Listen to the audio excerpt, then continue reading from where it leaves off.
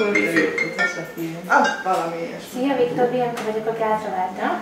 Egyre gyakrabban csörögnek a telefonok, sok a kérdés és az érdeklődő anyári utazásokkal kapcsolatban ebben a Nyíregyházi utazási irodában. A szabályok napról napra változnak, jelenleg védettségi igazolványa korlátozásmentesen Bahreinbe, a Cseh köztársaságba, az Észak-Macedón köztársaságba, Horvátországba, Montenegróba, a Szerb köztársaságba, Szlovéniába és Törökországba lehet utazni.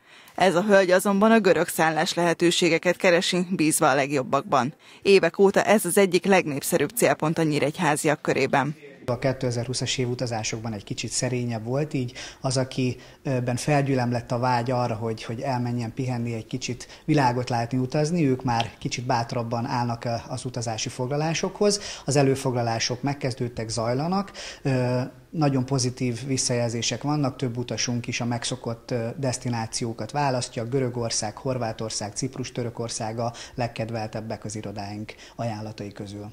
Nem csak értékár arányban elfogadhatóak, különleges pihenés és kulturális tereket is kínálnak ezek az úti célok. Az egzotikus utakkal még várnak, de már keresik az utazni vágyók Dominikát, a Seychelles-szigeteket, és egyre népszerűbbek a külföldi nászutas szolgáltatások is. Ami a járvány mellett meghatározza az úti cél kiválasztását, az továbbra is a pénztárca. A belföldi árak az utóbbi időben egy kicsit megerősödtek, míg a külföldi árak stagnálnak, esetleg csökkenés is észrevehető náluk. Ennek véleményünk szerint az elsődleges oka a szépkártya felhasználásnak tulajdonképpen a lehetősége, és a magyarok egy kicsit jobban a hazai utazásokat preferálják jelenleg.